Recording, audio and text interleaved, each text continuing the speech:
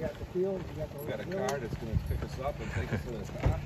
There's a great shot of the uh, path.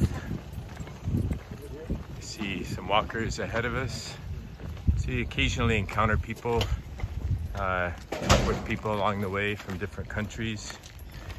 A couple young men from Germany this morning, Frank and uh, Stefan, who uh, went out of the way to come find us. It was amazing. We we just started going. We got to talking. We made a wrong turn, and this gentleman who's probably 90 years old came running up behind us to help us get back on the way.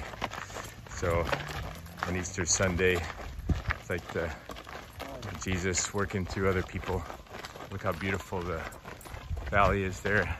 The yellow flowers are, the elderly man said it's called soja, S-O-J-A, and it's uh, food for animals.